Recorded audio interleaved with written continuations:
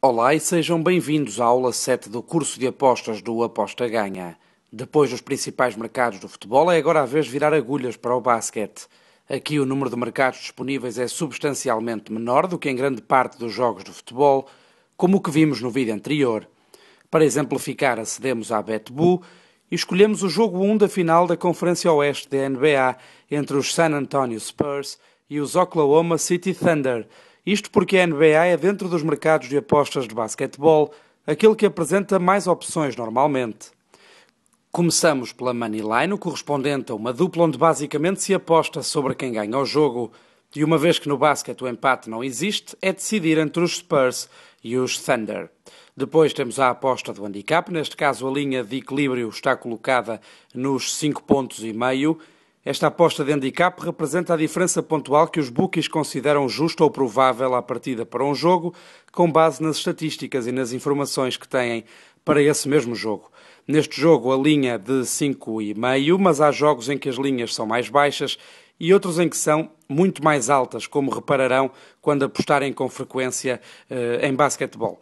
Há ainda casas que proporcionam linhas de handicap ajustáveis, como vamos ver uh, um pouco mais à frente.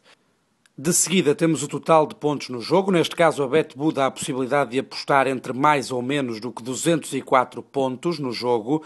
E tal como nos handicaps, esta linha é feita pelos bookies com base nas estatísticas e nas informações sobre as equipas e são traçadas com o objetivo de equilibrar ao máximo as coisas, dificultando por vezes a escolha de quem aposta. Quem já tiver apostado algumas vezes nestes mercados já terá reparado que tanto se pode ganhar no último sexto, como também se pode perder num último sexto e, por vezes, um último sexto que já nem muda nada no rumo do jogo. Pode-se apostar no total de pontos apenas no primeiro período do jogo, tal como se pode apostar no total de pontos apenas para o segundo, terceiro e quarto períodos de forma isolada. É igualmente possível apostar no número de pontos até ao intervalo, contabilizando o total de pontos apenas nos dois primeiros períodos da partida. Também nos handicaps é possível apostar período a período. Aqui vemos o exemplo do primeiro, mas também há a possibilidade de apostar para o segundo, terceiro e quarto períodos de forma isolada, como já disse anteriormente. Existe ainda a hipótese de apostar na tripla, que basicamente é dizer como vai estar o jogo no fim dos quatro períodos, ou seja, no fim dos primeiros 48 minutos, que pode não significar exatamente o fim do jogo em si, Caso exista um empate, que acaba por surgir na equação nesta aposta, tanto se pode apostar nos Spurs a ganhar, como nos Thunder a ganhar, como ainda no empate, como disse, no fim dos quatro períodos. É-nos ainda possível apostar em qual dos quatro períodos vai haver mais pontos e ainda algumas outras apostas que estão mais dependentes do fator sorte do que da lógica ou do estudo. Por exemplo, quem vai marcar o primeiro sexto no jogo ou se o número de pontos no total do jogo será par ou ímpar. Também é possível apostar no handicap ao intervalo e, por fim, na BetBoo, apostar em quem se classificará, ou seja, quem vencerá primeiro um total de quatro jogos, acedendo assim às finais da NBA. Mas há mais apostas para além destas da BetBoo e para falarmos delas vamos até à Bet365 e acedemos à página do handicap ajustável. Tal como tinha dito atrás, esta é uma variante interessante à simples linha de handicap, dá ao apostador muito mais possibilidades, com maior ou menor risco, do que a linha pré-definida de handicap dos 5,5 pontos atribuída aos Spurs. Na mesma lógica, mas noutro mercado, o total de pontos ajustável, tínhamos visto na Betbook a previsão da linha de pontos apontava para os 204, aqui com todas estas possibilidades, eh, desde os 197 até aos 210, cabe a quem aposta decidir em que linha de pontos pretende entrar com odds mais altas ou mais baixas, consoante o risco considerado pelos bookies para a vossa aposta.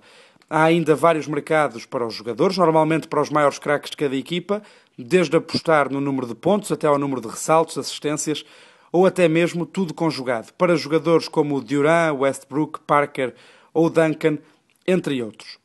Em várias casas é ainda possível apostar qual das equipas chegará primeiro a determinado número de pontos. Na Bet365, como aqui vemos, temos o primeiro a chegar aos 20, mas há casas como a BetClick, onde se pode até apostar quem será a primeira equipa a marcar 5 ou 10 pontos. Outra possibilidade é apostar na margem da vitória.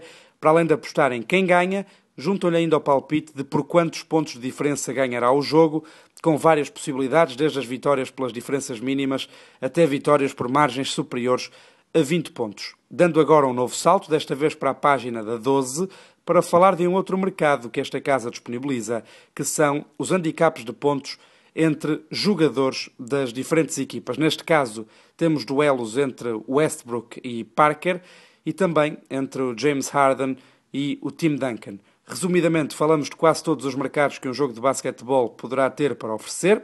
Recordo-vos apenas que em vários jogos de basquete há a possibilidade de muitas vezes não verem disponíveis todos estes mercados, até porque não há ligas de basquete que tenham tanto interesse e tanto investimento dos apostadores como a NBA e, por que não dizê-lo, também não tem o estatuto desta Liga Americana de Basquetebol. Ainda assim, conhecendo todas estas apostas, nunca se perderão na hora de apostar num jogo de basquetebol. A próxima aula é sobre os principais mercados de ténis e chegará em breve. Até lá e boas apostas!